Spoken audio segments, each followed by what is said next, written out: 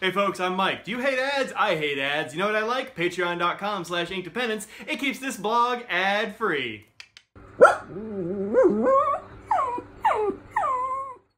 Hey folks, welcome to Inkdependence.com. I'm Mike, and this is Pen BBS 128. That is Santorini. That is this ink. Comes in this nice 60 ml bottle for 16 bucks. Good graphic label on here. I really like what they did here. Uh, it also tells you what the uh, what the ink is.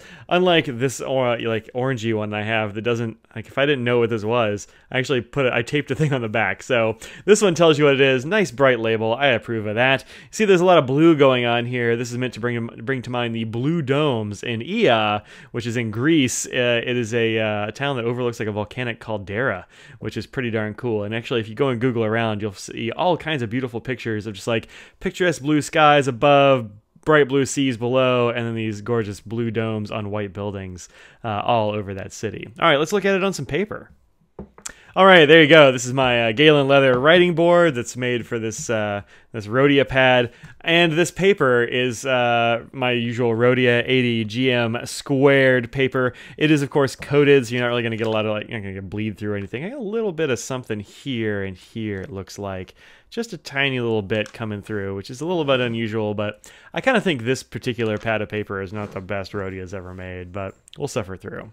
This is, as you can see, a nice bright blue, sky blue, sea blue, a little bit of shading action here and there, not a ton, and um, it's uh, you get like a little bit of uh, of sheen actually when you write with it with uh, one nib, and a little bit of shading with the other. So depending on what nib you put in here, it's going to be uh, you know a little bit of a little bit of this, a little bit of that. I've got it in two pens. This is a pen I've added in for a little while. This is a Platinum 3776 Nice Pure, and it has a broad nib on it. And uh, from this nib, you get something that's very reminiscent of this swatch actually, which is this kind of um, uh, I don't know, lighter blue, I suppose, with no real sheen that I can see, but plenty of uh, shading here and there. And then this pen is a brand new pen to us. Uh, that Audrey just picked up. This is a Pilot Custom Heritage 92, and it's got a fine nib, which is the other end of the spectrum. It went from uh, broad to Japanese fine, and uh, as you can see, it's a very different sort of look for this ink. Uh, we get more sheen here, less shading it seems. Although on a coated paper you will sometimes get some shading where it's like lighter up here you begin a stroke and darker down at the bottom where I end it. So that's a thing you get there. Uh, and I, I, gotta say on the uh, 20 pound paper, man, this is not doing super well. So this is the the line down here, of course, and the top line is that broad. The bottom line is the fine. And I was actually kind of disappointed by how the fine behaved. Um, I, there's a thing with fine nibs sometimes. People say get a fine nib if you're going to write on bad paper, and that's not really always true. Um, so on this one, you can see the fine bled through uh, at least as much as the broad, and maybe actually a bit more, I think. Uh, and it also is subject to some some spread. We've got some feathers in here, and sometimes that's because the nib might be so fine that it actually like cuts through some of the the, the um, uh, the the texture, like the paper fibers on here, and so you get this spread more than you do with the broad nib, which is much smoother and like wider and goes across them. So, uh, like you got to know your nib and your paper, but this is about the worst paper around. So uh, that it bleeds and feathers and spreads is uh, to be expected, but don't use this on your your crappy office paper because you're not gonna like it very much probably. But on Rhodia and on anything even you know a little bit better than that terrible copy paper, which is 30% recycled, 100% weak sauce you uh, you're gonna probably like this one. It is a beautiful ink, uh, and I, I, like it quite a lot. I mean, it was the first ink I thought of inking up this pen for Audrey. This is a nice piston filler. It's blue, putting this nice blue in there, and it's been pretty good so far on everything except for that stuff. So uh, there you go. Um, I I really I think this is a real pretty blue. I mean, you know, I like blues already, but this kind of blue is really in my wheelhouse. I don't have too many that are exactly like it. Will um, I don't have any that are exactly like it. I don't have too many that are all that close. So we'll look at some uh, some samples here in just a little bit and see if we can find something that's kind of close. Uh, let me do a water test right quick. We'll look at the chromatography. We'll look at it on some other papers. And we'll look at some uh, some comparable inks. Let's get some of this water on here. Get some on the words. There we go. Let's kind of squish it around. There we are. All right. All right, it's definitely swirling around. I'm not really expecting any water resistance from this ink, but you never know. I've been surprised in the past. I don't think I'm going to be surprised this time, though. I think I know what's up with this one.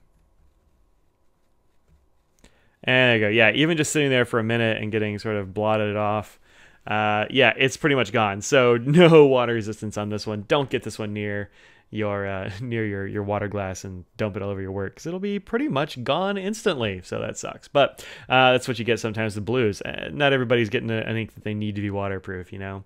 Uh, and I think this ink looks really nice in both of these uh, these nibs. You get a different character from the smaller nib than the larger one, but that's the way it goes. All right, let's take a look at the chromatography right quick. It is there. And as you can see, there's just no real water resistance showing here. It's just uh, totally gone from where it started and it all moved up the page. Also, not a lot going on in here. What's in this blue? There is blue in this blue. This, this ink is blue on blue. So there you go. All right. So I got a couple of other papers. I've got it here on, uh, this is a currently inked notebook. This is wheat straw paper, which I, I'm a huge fan of wheat straw paper. I think it's probably the best bang for the buck. Uh, for like reams of paper and stuff. So here it is in the fine, which is a brand new inking. I only inked it up on the night on the 17th, so just a couple of days ago, really. But I just wanted to see how it was in this nib, and it's pretty good. You get some of the shading here. You can probably see some shading here and there throughout uh, when you pull that down, and then uh, here you'll see that we have uh, the broad nib, and I think it, I think it really kind of shines in this broad nib. It gives it some space to spread out. Uh, it doesn't pack all that color in like one little bit and then give you that sheen. I think this gives you a nice, uh, nice character. All right.